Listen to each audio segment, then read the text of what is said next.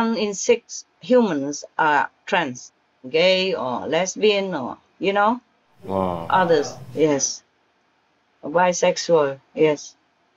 So we don't condemn one sixth of the planet. One sixth is uh, official, maybe more, because some people they don't recognize their own sexual orientation until later on, Yes. Yes, even ma'am. Yes. past their maturity.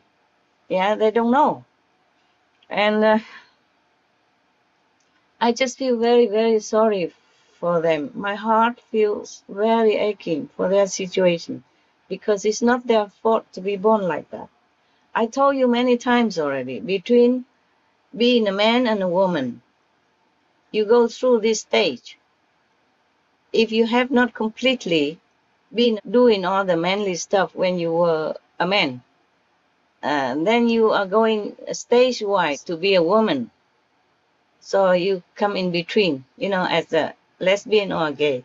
But if you completely well and have a lot of merit, then you just jump from being a man last life to be a woman in this lifetime. Yes. Yes, Right. And no need to go through that uh, transitional station. Yes, Yes, Master. They are just in a transitional station. So if God wants to accuse gay people, I mean the same-sex people that love each other, and like if I'm a prisoner, has forbid me to bless them because I sin, then I would say to God, "No, I would still do it, and you put the sin on me.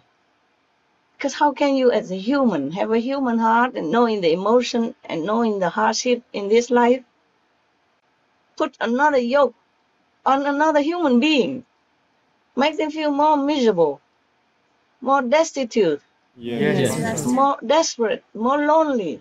My God. Isn't God the one who made them this way? Or who made them? You think the devil made them? No, Master. No. So God will forgive me if I forgive the gay people's sin. But I don't think they sin more than anyone else, even less.